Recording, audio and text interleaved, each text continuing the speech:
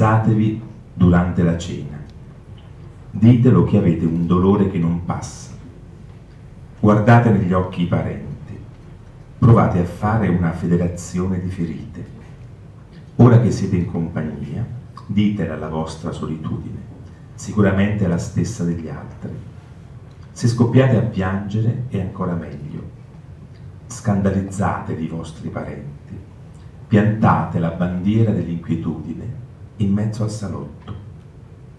Fatevi coraggio, prendete un libro, leggete qualche verso, parlate dei morti, parlate di voi e poi ascoltate, sparecchiate, togliete di mezzo il cibo, mettete a tavola la vostra vita. Siamo qui con il sesto ospite della rassegna culturale Non a voce sola, Franco Arminio, che ha portato questa sera il suo ultimo libro di poesie, La cura dello sguardo. Il rouge di questa rassegna, di questa edizione, è la rinascita. Cosa significa per lei e cosa dentro questo libro rappresenta effettivamente la rinascita? Io penso che spero che ci sia effettivamente una rinascita, perché un po' siamo morti col Covid, siamo morti di paura, siamo è morta una parte dell'economia e, e, quindi che ci sia una rinascita piuttosto che un ritorno semplice alla normalità. Rinascita significa anche un nuovo modo di stare al mondo. No? Quando si rinasce si nasce con un'altra voce, con un altro corpo, con altri sogni. Quindi io veramente auspico che, che gli italiani, che gli occidentali veramente si, si, mettano in testa che la normalità non, non ci può bastare, che la normalità è pericolosa. Siamo arrivati a una nuova normalità, dunque dobbiamo ricreare una nuova normalità. La normalità è un po' una sorta di così di una cosa arrangiata, è, è una mancanza di immaginazione. La normalità è quello che facciamo quando non abbiamo sogni, quando, non, quando ci accontentiamo di quello che passa il convento. Io penso che l'umanità deve essere più ambiziosa, deve fare una nuova alleanza con gli animali, con le piante e soprattutto deve avere un percorso che guardi alla salvezza del pianeta. Continuando così il pianeta finisce. Lei ha inventato una nuova disciplina, la paesologia. Questo significa andare nei paesi, attraversarli, penetrarli, come ci ha detto anche oggi. Praticamente qual è lo scopo della paesologia? C'è uno scopo effettivamente? Lo scopo è quello di dire intanto agli italiani che i paesi esistono, perché molti se lo scordano, e che i paesi hanno un futuro, non è vero che i paesi sono destinati a morire e io mi batto perché ci sia una sorta di nuovo umanesimo delle montagne che parta proprio dai paesi e quindi anche dalle Marche.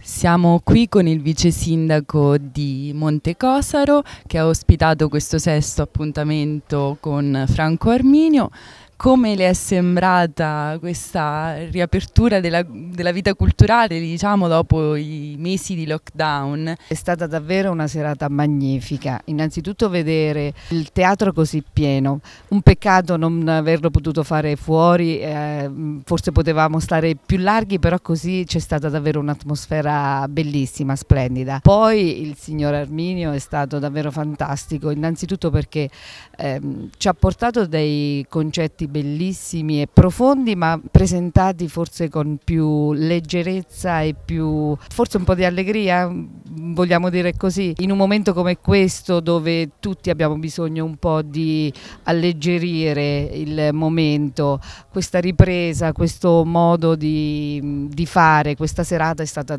per me fantastica, bellissima, emozionante.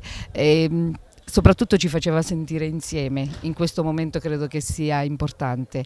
Poi lui che si definisce un paesologo, noi che siamo Montecosaro davvero un paese, ci piace essere un paese, ci teniamo a essere un paese, quindi sicuramente attinente con noi e ci ha fatto molto molto piacere. Abbiamo ricominciato benissimo, speriamo di proseguire. Franco Erminio ha fatto quest'ultimo libro titolato La cura dello sguardo, nuova farmacia poetica, ad indicare come la, la poesia sia terapia, allenimento, consolazione, condivisione delle ferite comuni. La poesia dipende molto dalla propria interpretazione personale e penso che come ogni libro nel momento in cui l'autore lo licenzia, non è più il suo libro, ma il libro è di chi lo legge. Vi aspettiamo come sempre numerosi, attenti e partecipi al prossimo appuntamento che sarà giovedì 13 agosto alle ore 21.15 a Porto Recanati,